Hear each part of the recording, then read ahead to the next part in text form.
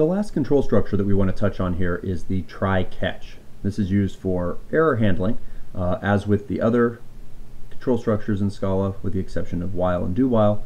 It is an expression, and we use it for the situations where things can go wrong. So if you're coming from a Java world, you're used to try-catch, but there are some differences, one of which is the fact that it is an expression in Scala. So in order to make this useful, we actually need to have some ability to uh, produce an error. And a common situation for that would be I have a string and I want to convert it to an integer. So it's possible that our string actually is a happy number, and in Scala,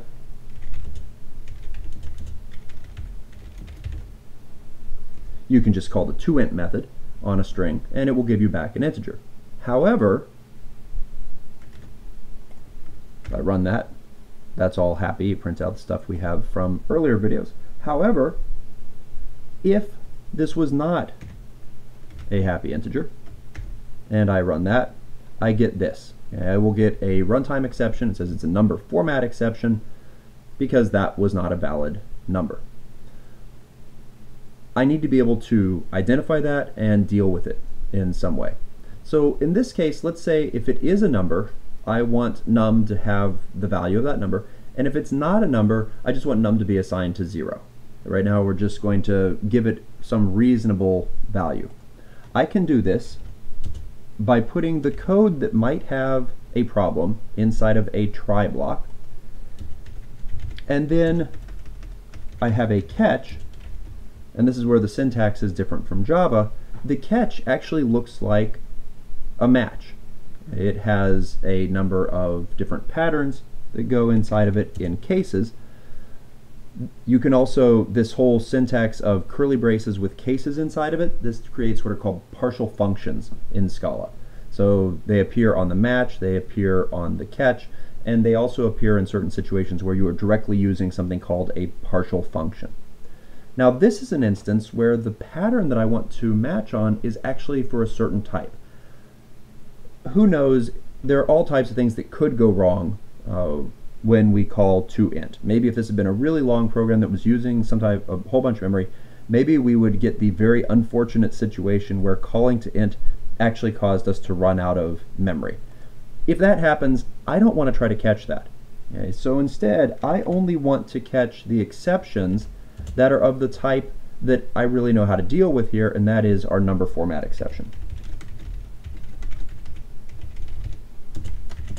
Just like with the match, I follow my case with a rocket, and then I give it the value that I want this to, to have. Um, so we try to convert our string to an integer. Note this syntax here, it's just like when we specified types for arguments or when we did it for variable declarations.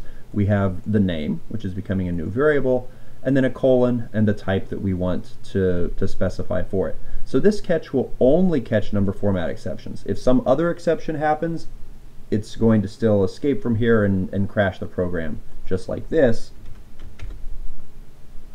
But in, as you can see, this works just fine. Number should have the value 0. We could print that out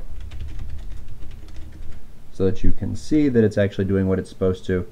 And of course, if I get rid of the A so that it parses properly, then I get 123 from this. So that's the basic idea of a try-catch. One thing that is very important to note, here again, we've talked about the fact that for our ifs, if we use the if as an expression, probably the both cases should have the same type. We saw that for the match, it's more meaningful if all of these cases give back the same type. I have actually had students do something like this, where they have their case but they wind up just printing out information. And then they get really weird errors. Uh, this is just a warning because it's saying that zero is not doing anything. If you look at num now, it has a type called anyval, which is once again one of these types that's not all that highly useful to us most of the time. And the reason for that is because println gives back a unit.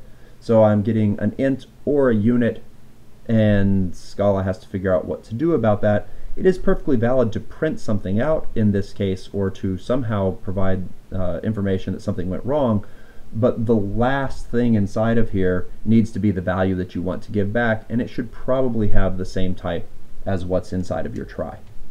So that's just a, a cautionary issue, something that I've seen people mess up quite a bit. When you do a try catch, if you are using it as an expression like this, you need to make sure that not just one case, but all of the cases that you are potentially catching all give back the same type that you want for your main expression.